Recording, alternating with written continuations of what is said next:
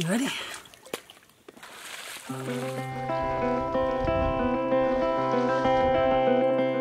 This is Amos, an Indigenous Malak Malak Ranger in the Northern Territory of Australia. And this is the critically endangered baby sawfish whose life he is saving.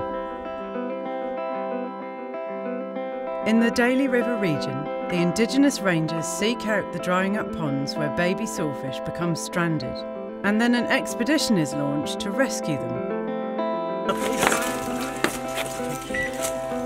The Rangers work alongside Dr. Peter Kyne from Charles Darwin University, tagging and measuring the fish prior to their relocation.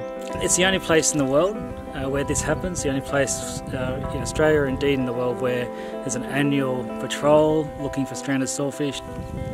I don't think many people know that they are actually endangered species. Um, most people still think they're out there in the wild um, in big numbers. In terms of a, a viable population, you know, Northern Australia may, may be it. The world's population of sawfish has been devastated by habitat loss and fishing.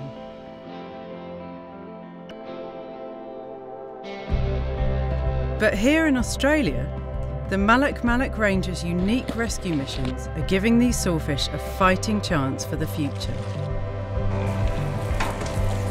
As soon as I've done this, there's gentle water. The Daly River Sawfish Rescue is a world leading initiative that we can all be very proud of.